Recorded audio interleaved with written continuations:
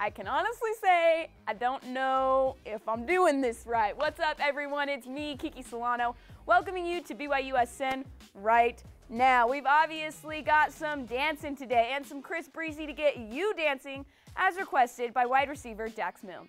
Let's go.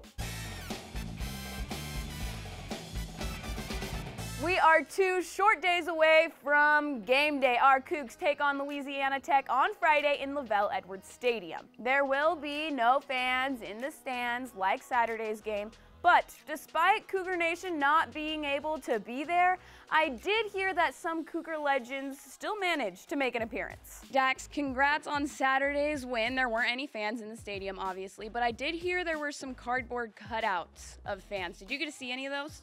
Uh, yeah, I think I saw Mitt Romney up there, Taysom Hill. Just glad they were there to make the game. I know, big fans coming coming in for you guys. If you could yeah. pick any BYU player to be one of those fans in the stands, who would you pick? That man, uh, John Beck. Just he's a pretty historical guy here, so. Yeah, a classic. Cool. A classic.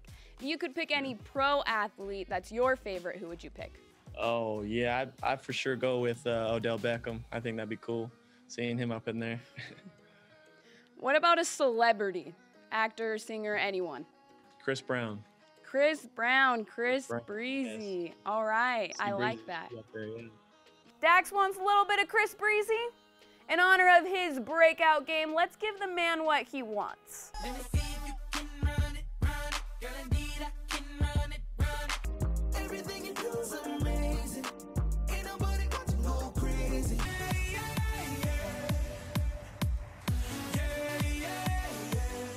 Dax isn't our only Coug who had an outstanding game, though. We've got plenty more awards and rankings to get to. Let's start with QB1. Zach Wilson has been getting a lot of attention lately, and his incredible performance on Saturday night, throwing a career high of 392 yards, only adds to this. Davy O'Brien has named him to both his mid-season watch list and his National Quarterback Award Great 8 list. He has also been added to the Manning Award Stars of the Week list, but it doesn't end there. Sports Illustrated's Pat Forde said in his too early Heisman watch, the Cougars have been a big play offense, and that starts with Wilson. He's the only QB averaging more than Trevor Lawrence's 11.04 yards per play, checking in at 11.31.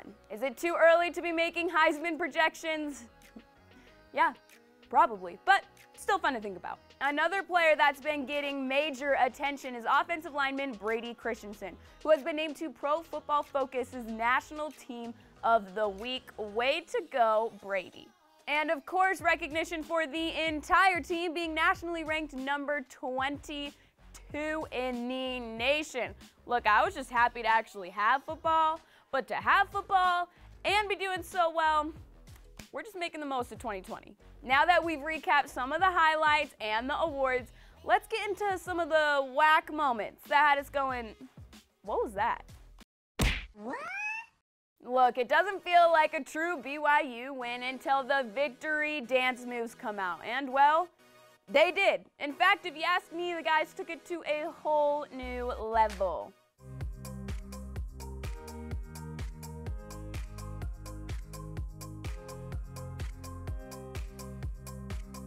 It's common to ask the players to break down a play, but I actually want to break down those dance moves. Isaac? I do the cabbage patch, and all of a sudden, the announcers, everyone's blowing me up, saying I'm the worst dancer ever. Why would you, why would you pick the cabbage patch, the oldest dance in the book? Do something hip.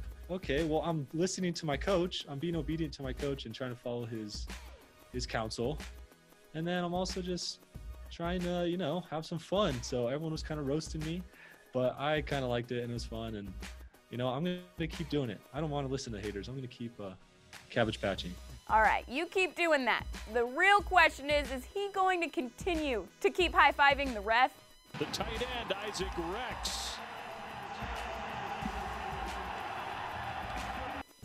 I don't think that's what the ref was going for, but I'm here for it. Thanks for hanging out with me on BYUSN right now. Go and give us the follow, and I will see you guys Friday. Keep the dance going. How about the Chris Brown?